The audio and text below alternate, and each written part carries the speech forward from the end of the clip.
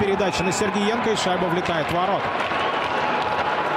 И, по-моему, отличается Мансуров, который сегодня дебютирует в континентальной хоккейной лиге. Но вот так вот у нас сегодня день успешных матчей для молодых игроков. У Минского «Динамо» в первом периоде отличился молодой нападающий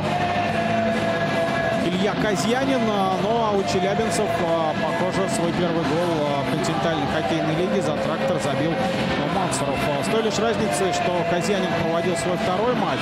Ну а вот Мансуров в первой игре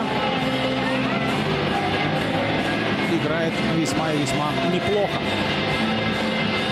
Бросок Сергеенко. Ну и да, здесь э, с лета попал по шайбе Мансуров или Мансуров. Дважды в этом сезоне отличился за Челмет высшей хоккейной лиге. Вот